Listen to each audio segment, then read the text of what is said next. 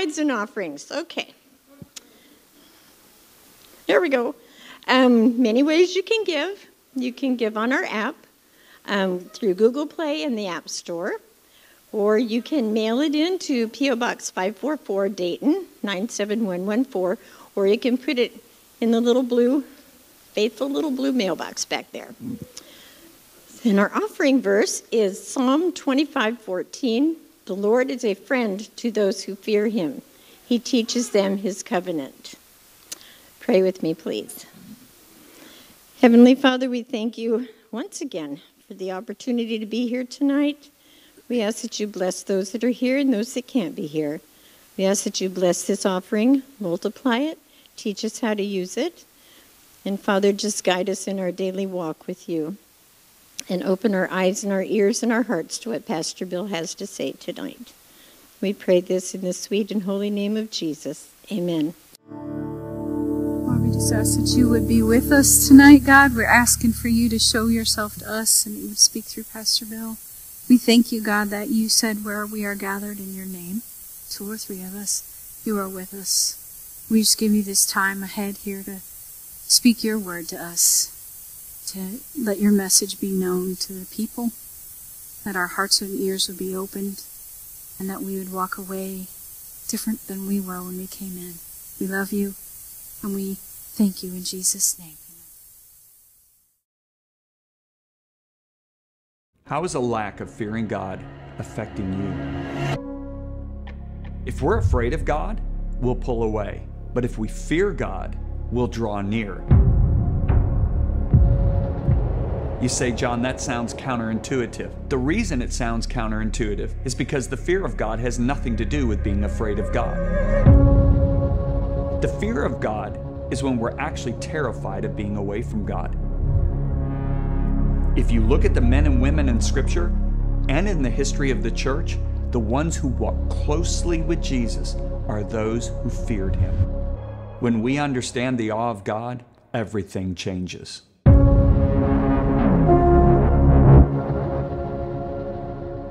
Everything changes. So we're starting a new series, The Awe of God. Today we're going to be in Holy Awe, Part 1. When uh, going through all this, it's just like it. there was just way too much important information to go into this. So be patient. We're going to learn a lot. We're going to take our time so that we understand this. Did you know that fear of the Lord is mentioned in the Bible 200 times? Wow. And I counted them.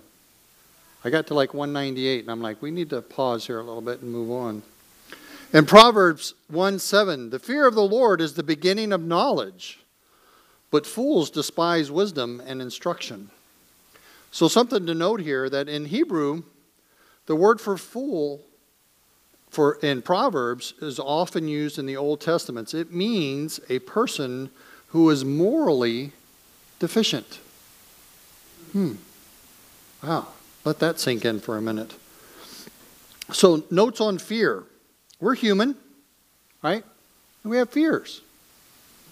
Might be fear of a roller coaster, might be fear of snakes, might be fear of something, right? But we fear because we're human. The awe and fear of God is deeper, more beautiful, and more intimate than we may dare imagine. The fear of God swallows up all these destructive fears. There's a difference. The fear of God is the beginning of everything good. In Psalms 25:12, who then are those who fear the Lord? He will instruct them in the ways they should choose. So again, who's afraid? Not afraid, who fears the Lord? In Isaiah 48:17 through 19, this is what the Lord says. You remember the holy ones in Israel. I am the Lord your God, who teaches you what is best for you, who directs you in the way you should go. If only you had paid attention to my commands, your peace would have been like a river, your well being like the waves of the sea. Your descendants would have been like the sand, your children like the numberless grains. Their name would be never blotted out nor destroyed from or before me. So, wow, fear. Hmm. So we're going to spend a lot of time on this the next couple of weeks talking about fear, the fear of God. And we're going to kind of di- distinguish the two.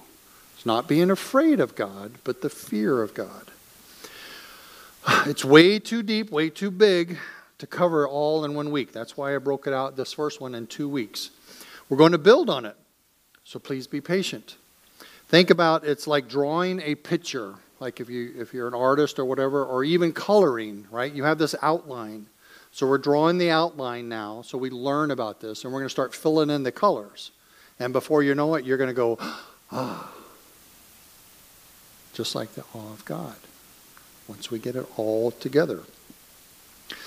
So the fear of God is treasure.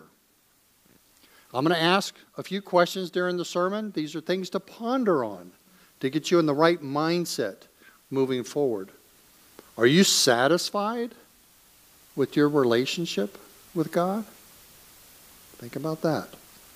Is there behavior in your life that you regret, that you do on a regular basis, that you regret later? Right? You don't have to answer those. Have you grieved over someone or uh, friends or family that may have walked away from God? Think about those. Learning the fear of God will help you with these issues. Our culture is dead set on this no fear, right? I think they had t shirts and all this printed up. No fear, right? In today's society, they, you see people doing crazy stuff like there's no fear, right? but we do. We do need to have fear. The only thing to fear is fear itself. Who said that? Ah, FDR. Close. Yeah, you were close. They're in the same time frame, I think. Yeah, that's all right. Close, but no fear. It's all good. But not all fear is healthy. Some fear protects us. Think about when you're cooking, right? You know that the oven is hot, and you know if you don't put on mittens, it's going to burn you, right? So you go for the mittens or the pot holders, whatever, right? Think about a, a mama bear and her cub, right? You're going through the forest, right? You know not to mess with the baby cub because mama bear is probably going to attack you. So there's that sense of fear that helps us not to do silly things, stupid things. Yeah, I could say stupid in church, right? Yeah, because we sometimes are not not wise. So here's another question to ponder. What do you fear most? Thinking about that, because we might fear of getting burned when we cook, do we not cook? If we fear of coming confronted with a mama bear when we go for a walk in the woods, do we not go for walks? Right? So fear is kind of, you know, there's a balance there. Too much of it, right, will hold us back. Not enough, we will be nuts. We'll be stupid, like the Bible said there about unmoral. Right? So evaluating that what fear is will bring great fruits. Think about that. Knowing where to kind of hold back, if you will, like doing with the oven, going on with the bears, etc., etc., etc. If you were told of a hidden venture that is a key to all life, do you think you would follow that? Hmm. It unlocks the purpose of our existence and attracts us to presence, protection, pro, uh, providence by your Creator. It's the root of all noble character, the foundation of all happiness, provides and provides the needed adjustments in all circumstances that we may face. So there is a virtue here. Firmly embracing this virtue could lengthen your life, produce good health, ensure success, safety, and eliminate the lack and guarantee a noble legacy. Sound too good to be true? Hmm. It's true. It's true. Solomon speaks of it over and over again in the Old Testament. This prized virtue is none other than the fear of God. Solomon, unfortunately, didn't fully realize the value of godly fear, even though he was taught, even though he taught it and was inspired by the Holy Spirit, by the fear. Uh, just prior to his fall, godly fear wasn't present in Solomon's life. Right? He didn't no longer fear the Lord. He's like, I'm a wise man. I got all this stuff. I can do this, right? His fear went away. Right? You got to think about that. So, while he was stumbling, he was experiencing trouble and finally returned to God. So there, it's not like this is the end game here, that when we have fear or we lose our fear, that it's over. We can always return. We can always, always return to God. In Ecclesiastes 12:13, now all has heard. Here is the conclusion of the matter. Fear God and keep his commandments. For this is the duty of all mankind. It's our duty to fear and to follow his commandments. Embracing godly fear is our most prized treasure.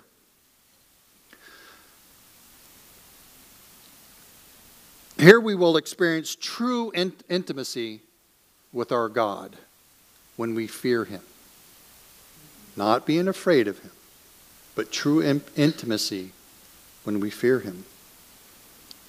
Holy fear keeps us connected to the wisdom of our Creator, the only one who knows what enhances us and what undoes us. Think about that. So let's start discovering the fear the awe of God. Holy fear is God's treasure, and it should be ours. And Isaiah 11, 2 through 3. The Spirit of the Lord will rest on him, the Spirit of wisdom and of understanding, the Spirit of counsel and of might, the Spirit of knowledge and fear of the Lord. And he will delight in the fear of the Lord. He will not judge by what he sees with his eyes or decide by what he hears with his ears. The prophet is talking about who? About Jesus. He's talking about Jesus. He, Jesus feared God. Think about that. And Isaiah 33 6, the fear of the Lord is his treasure. That's a King James version. Other ones We'll just say that it, the, King, the New King James describes it the best. So choose the value of holy fear and its life's greatest treasure, and you will be strengthened, strengthened and remain to the path of well living. Now you may say, hey, Pastor Bill, but the fear does not come from God. Right? We're taught that all the time, that we should not fear, that fear comes from Satan. But I just read you scriptures that said to fear the Lord. There is a difference. There is a big difference, and we're going to study that. We're going to learn this. But there's a difference between the spirit of fear, being scared or afraid, and the fear of the Lord. If we look at a few more of these verses, even in the New Testament, it talks about fear of the Lord. We'll see and that we are instructed to fear, but it's not the bad kind of fear. We're going to learn this. In Philipp- uh, Philippines, I always say that. Yes, that was in Philippi, right? Right next to the Philippines. In Philippians 2:12, work out your salvation with fear and trembling. There it is. There it is in the New Testament. In 2 Corinthians 7:1, therefore having these promises, beloved, let us cleanse ourselves from all filthiness and the flesh of the Spirit, perfecting holiness and the fear of God. Hmm, there's that word again fear of God. In Hebrews 12 28, therefore, since we are receiving the kingdom which cannot be shaken, let us have grace by which we may serve God acceptably with reverence and godly fear A couple of big words in here that we're going to kind of digest here a little bit. In 1 Peter 1 17 and 18. And if, and if you call on the Father, who without practicality judges according to, the, to each one's work, conduct yourself throughout the time of your stay here in fear, knowing that you were not redeemed with corruptible things like silver and gold for the aimless conduct received by tradition from our fathers, but with the proceed with the precious blood of Christ as the lamb without blemish and without spot. Here's one that really threw me. In Jude in verse 22 through 23, be merciful to those who doubt.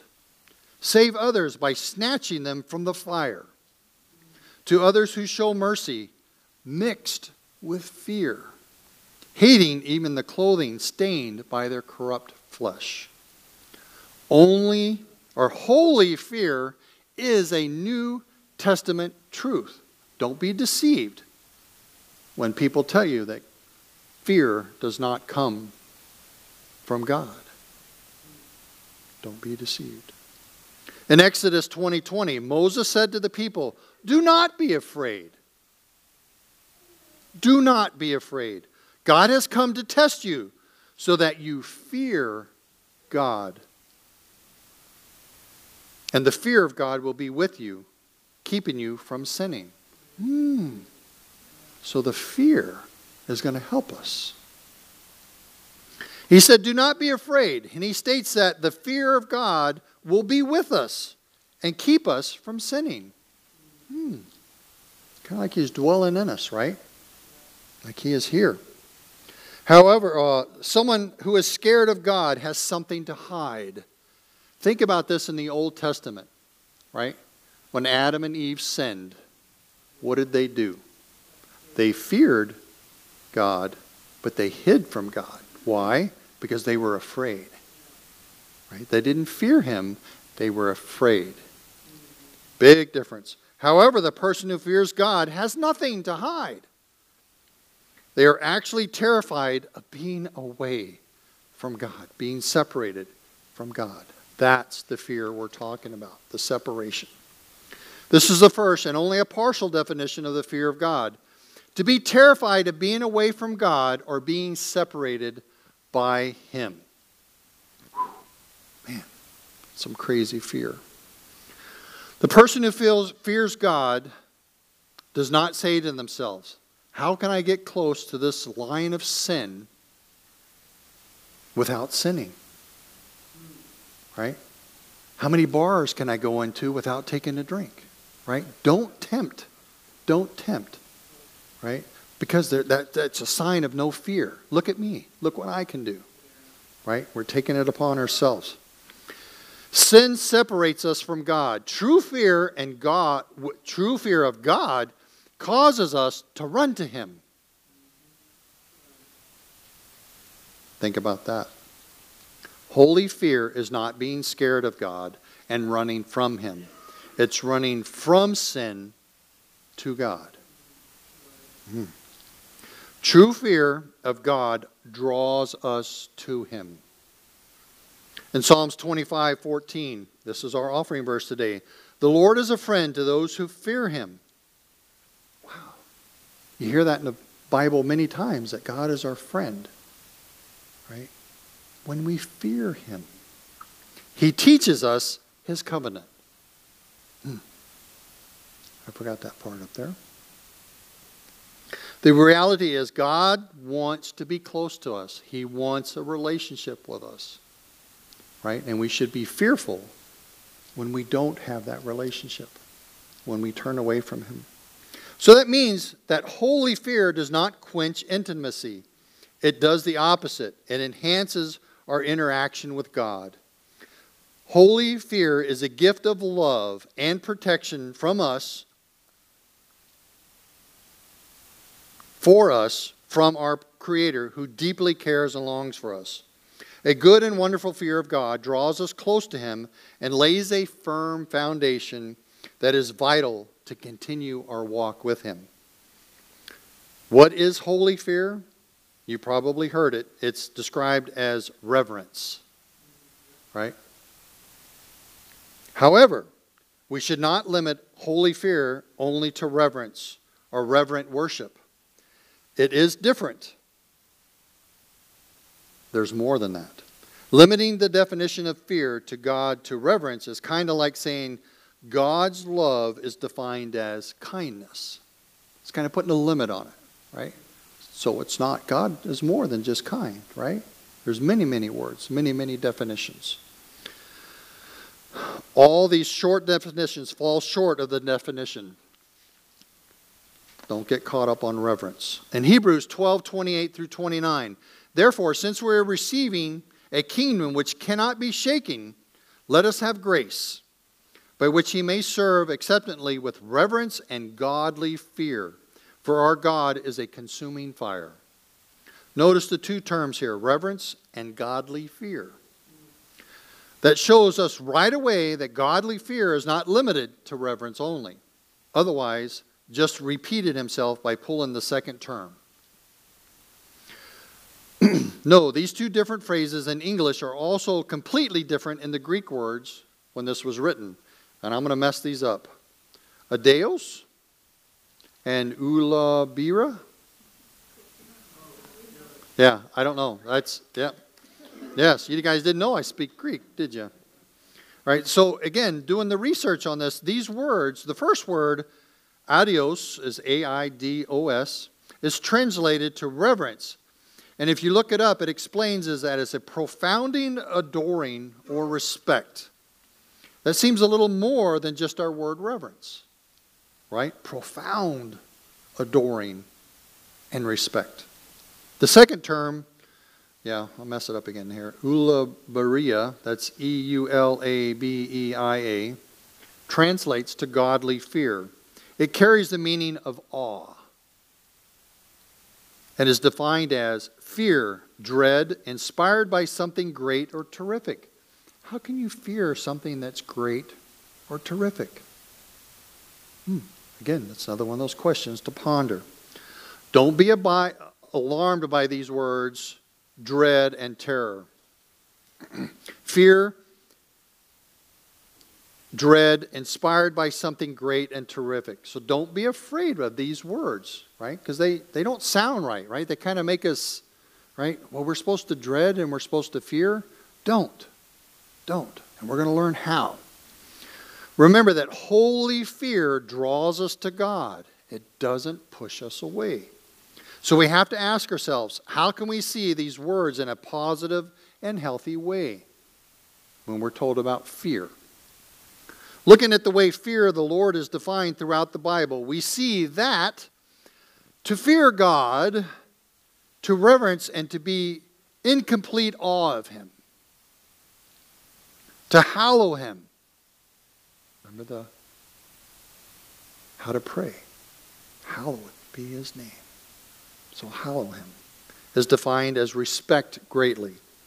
To esteem, to honor, to respect, and adore him above all things, above anything else. When we fear God, we take on his heart. Think about that. Imago Dei, we're made in his image. When we fear him, we take on his heart. We love what he loves, and we hate what he hates. Yes, God does hate. Not just dislike. Well, I don't really like what's going on here, right? If God hates it, we should hate it too. What is important to him becomes important to us, right? A lot of times we take on things ourselves and like, eh, that's okay, right? If it's important to God, it should be twice as important to us. What is not important to him becomes not important to us. Right? Think about that. To fear God is to depart from evil in every sense of both word and action. What we say, right? Is that the sign for say? Right, Alice? Okay, thank you. Right, I was schooled on sign language earlier, so so, what we say and what we do. to depart from evil in every sense by both word and action, to refrain from speaking deceitfully. It is not untrue, and it keeps us out, it keeps our outward behavior in line with our inward thoughts. So, again, if we're thinking about the good things, right, they become outward. So, if we think about fearing God, right, it will become outward how we fear Him. To fear God is to walk in humility before God and mankind. Right? Because we need to be stand up against this world. It's a bad place. We need to stand up. But walk with humility.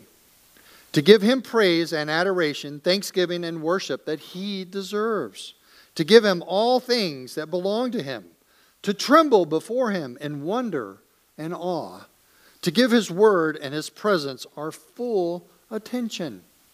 Not just on Saturday evenings here, right? Not just Sunday mornings, right? All the time. Our undivided, full attention. To fear God is to obey Him. It is not just desire to obey Him, but is to obey Him. But an inward force determined to carry out His will will no matter to do his, determined to carry out his will no matter the cost. Right? Do what is morally right in the fear of God, no matter the cost. We need to eagerly, willingly, and immediately be obeying, even if we don't see the benefit and it doesn't make sense, because a lot of times we go, What does God really mean? What is He telling us to do here? I don't understand. Sometimes we have to just be obedient. Right? Check for understanding, but be obedient. The fear of God is to abstain from any form of complaining, murmuring, or grumbling. I need to work on that.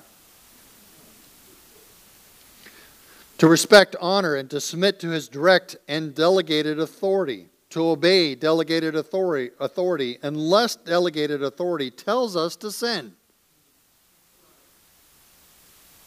Think about that. Delegated authority. That means the power of God coming through somebody. We're to obey, unless it's to be sinful. Man, think about that. The fear of the Lord shapes our intentions, our thoughts, our words, and our actions. We're starting to draw the outlines of this picture now. So you're starting to see, right, as if you think about a coloring book again, the outline. Right? So now we have this framework of what fear is and how we did uh, to understand it, the difference between fear and being afraid. So let's do a little bit more looking and at the benefits of fearing the Lord. The fear of the Lord, it is starting place for an intimate relationship with him. We become his friends. We become we know his secrets. They become known to us, right? The fear of the Lord is the beginning of wisdom, understanding, and knowledge. It gives foresight and clear divine direction. The fear of the Lord is how we mature in our salvation and how we are conformed to the image of God. Again, remember, we are created in this imago Dei, right? And when we fear Him, we become more like him. The fear of the Lord is clean and produces true holiness in everything we do. To abide in the fear of the Lord is to secure an eternal legacy. The fear of the Lord produces confidence, fearlessness, and security. Now, again, there's that word fearlessness, not to be fearless, right? Did that outline just get a little blurry? We'll define it here a little bit more. It swallows up all other fears, including the fear of man. So, again, think about this. When you use your oven example, right? You know of that fear. You don't become fearless when you cook, right? But you do it with confidence. You know that, hey, that will burn me, right? And I have to do it. That's the fearless that we're talking about. Not fearless, but fearless. There's a difference. Dave's back there going. The fear of the Lord provides angelic assistance.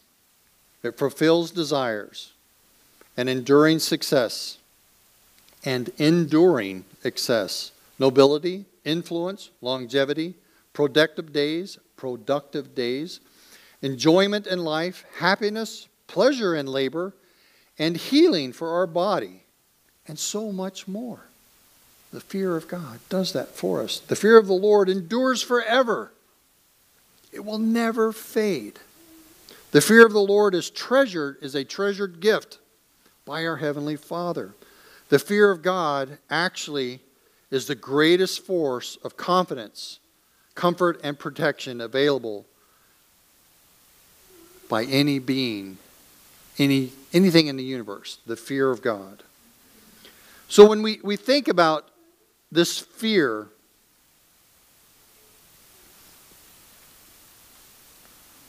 again, not to be afraid not to be afraid of him, not to be afraid of his righteousness, not to be afraid of his discipline, right? But the thing is, is that if we're separated from that, separated from our Father, that's the fear that he's talking about. Wow, I want to do everything in his name. I want to give him praise. I do not want to be separated from God.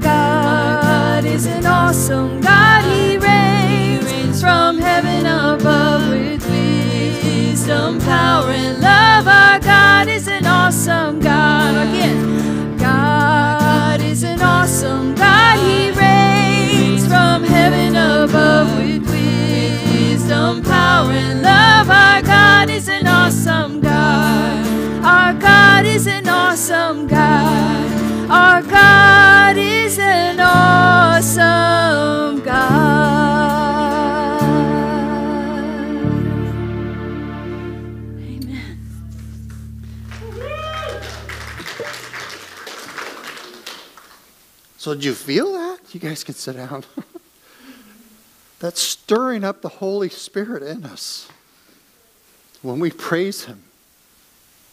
Because He's an awesome God. And He deserves our praise.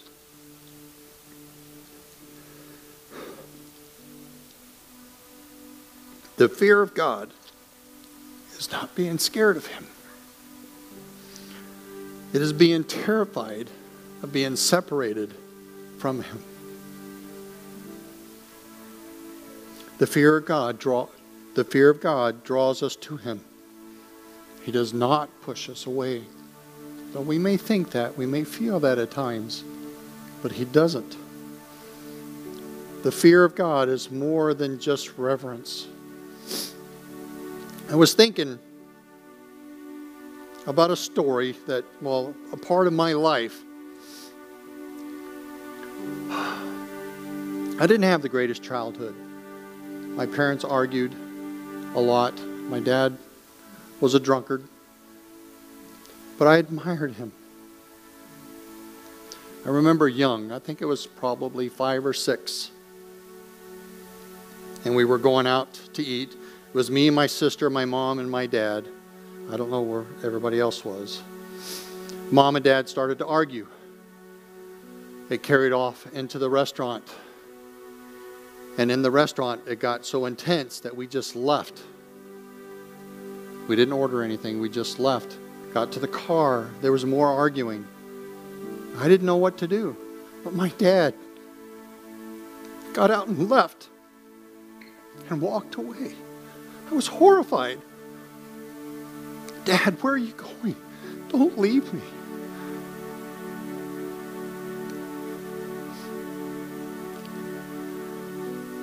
We should feel the same type of feeling when we walk away or we turn away. We do things that we know separates us from God. We should fear that. That we don't want Him to ever, ever, ever leave us. But He doesn't leave us, we leave Him. We are the ones that walk away. Don't be the one to walk away. I don't know where I'm at in my notes here, but I had to share. We're going to continue uh, the picture of the holy fear and the awe of God. There's a part two to this one here. Think about some of the questions I asked you today. Ponder on them. Right? And think about the true fear of God is not being afraid of Him. Right? He knows we're going to make mistakes. He knows we're going to sin, but He doesn't turn away from us. In Deuteronomy 10 20, I think it is. You must fear the Lord your God and worship him and cling to him. David preached about this too. Oh, do not take the Holy Spirit from me. Oh, I can't imagine living without him, without living without living without our God, the Holy Spirit in us. Let's pray. Heavenly Father, we give thanks for you that you're an awesome God. And you're a part of each and every one of us. You dwell in us. We surrender to you that you guide us to follow you, to fear you, and to never be separated from you.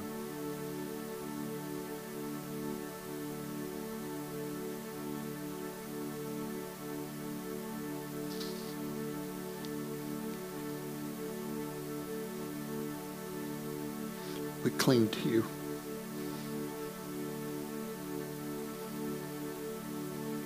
Give thanks for you sending our Lord and Savior Jesus Christ to save us. We give thanks in his name, Jesus. Amen. so if you hadn't guessed it or not, this, this has been a little emotional for me. It's it is. It's because we think we were taught that we should not fear. We think that fear is not of law of God, and it's not. There's a certain type of fear that is not. But there's the good fear. Right? And we we know the good fear. If we don't, we should. You guys have a great week ponder on some of those questions, and we'll conclude what fear is. God bless y'all. Have a great week.